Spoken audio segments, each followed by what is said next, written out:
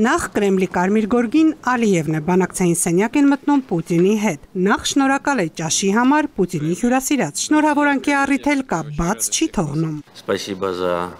вчерашний Շնորհակալ ենք երեկվա ճաշի համար։ Ցանկանում եմ նաև անձամբ շնորհավորել ձեզ ծննդյան օրվա կապակցությամբ։ Мы сейчас с президентом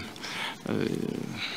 поговорили, что называется, из глазу на глаз. Քիչ առաջ նախագահի հետ խոսեցինք տետատետ։ Երեք երեկոյան էլ ոչ ֆորմալ հանդիպմանը քննարկեցինք մեր հարաբերությունների կարգավիճակը։ Հարաբերությունները դրական զարգացման ընթացքում են։ 10 պետական լրատվական գործակալությունից տեղեկանում ենք, որ Պուտինը Ալիևի հետ, հետո նաև Փաշինյանի հետ Երևան-Բաքու հարաբերություններն էլ քննարկել է Երակողմ համաձայնագրերի հիման վրա։ Որ սեղանին նաև Զանգեզուրի միջանցք կոչվածի հարցն է եղել, Կրեմլի խոսնակն էլ չի հերքել։ Պեսկովն ասել է, թե Պուտինն առանձին առանձին խոսել է նրանց հետ յուրաքանչյուրի հետ մոտ կես ժամ, կարծիքների փոխանակում է եղել եւ հավանաբար շոշափել են նաև Զանգեզուրի միջանցքի թեման։ Նիկոլ Փաշինյանի աշխատակազմից տեղեկացնում են, որ հանդիպման ընթացքում նա խաղաղության խաչմերուկ ծրագրի մանրամասներն է ներկայացրել, նաև փոխանցել է խաղաղության խաչմերուկ բրոշյուրը։ Փաշինյանը մտահոգություն էլ հայտնել է տարածաշրջանային թեմաների վերաբերյալ Ռուսաստանի մի շարք պաշտոնյաների կողմից օգտագործվող ձևակերպումների եւ բառապաշարների առնչությամբ։ Հրապարակային սակայն դիտում ենք տնտեսական ոլորտին վերաբերող զրույցը։ Հայտնի է, որ Ադրբեջանը BRICS-ին միանալու հայտ է ներկայացրել։ Պուտինն ինքն է Ալիևին հրավիրել BRICS-ի Կազանյան գագաթնաժողովին հոկտեմբերի 23-ից 24-ը։ Ալիևից հետո է Կրեմլ եկել Փաշինյանը։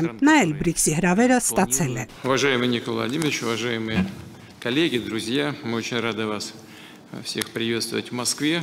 Հարգելի Նիկոլ Վլադիմիրովիչ, հարգելի բարեկամներ, ընկերներ, ուրախ ենք ձեզ ողջունել Մոսկվայում։ Քիչ առաջ տետատետ քննարկեցինք ընթացիկ հարցերը։ Լայն կազմով ավելի շատ հարցեր կքննարկենք։ Առևտրատնտեսական հարաբերությունները բավականին ակտիվ են զարգանում։ Այս տարվա առաջին կեսին առևտրաշրջանառությունը 2.5 անգամ ավելացել է, գերազանցելով 8 միլիարդ 300 միլիոն դոլարը։ Եթե շարունակենք նույն տեմպով, այս տարի առևտրաշրջանառությունը 14-ից 16 միլիարդ դոլարի կհասնի։ Իսկ դա ռեկորդային կլինի։ Ռուսաստանի Դաշնությունը Հայաստանի Հանրապետության տնտեսության առաջատար ներդրողն է, ընդհանուր 4 միլիարդ դոլարով։ Հումանիտար հարցերի մասին իհարկե խոսենք։ Նիկոլ Վլադիմիրովիչը կարծում է, որ այստեղ բաց թողումներ կան։ Դե մանրամասները կքննարկենք։ Россия Очень рад констатировать, что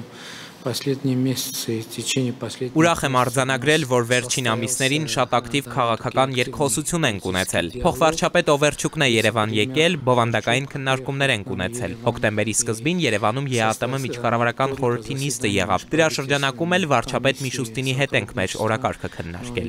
Պուտին Փաշինյան Ալիև Երակոմ հանդիպում չի նախատեսվում Պուտինի օգնական Յուրի Ուշակովն է ասել։ Մենք համաձայնության չենք եկել Երակոմ հանդիպման մասին, այդպիսի գաղափար կար, բայց ոմանք չաջակցեցին։ 10-ին է ասել Ուշակովը, չի բարձրաձայնել սակայն ոմանք ովքեր են։ Հայաստանի նախագահն էլ Reuters-ին ասել է հույս ունենք խաղաղության պայմանագիրը Ադրբեջանի հետ ստորագրել առաջիկա 4 շաբաթների ընթացքում։ Վահագն Խաչատրյանը հույս ունի Բաքուն կստորագրի համաձայնեցված 16 հոդվածները մինչև նոյեմբերին կայանալիք COP29 համաժողովը։ Երևանն ի դեպ մի քանի անգամ դրական չի արձագանքել Մոսկվայի առաջարկ բանակցային հարթակին։ Պուտինի օկնականն ավելի վաղ ասել էր, թե Մոսկվան շահագրգիռ է նորից փորձել դառնալ հայ-ադրբեջանական կարգավորման հարթակ։ Ուշակովը շեշտում է Միացյալ Նահանգները արևմտյան շատ երկրներ փորձում են խառնվել Հայաստանի եւ Ադրբեջանի միջև խաղաղության պայմանագրի կնքմանը, այնինչ այդ ուղությամբ հիմնական սևագիր գործը Մոսկվայում են արել։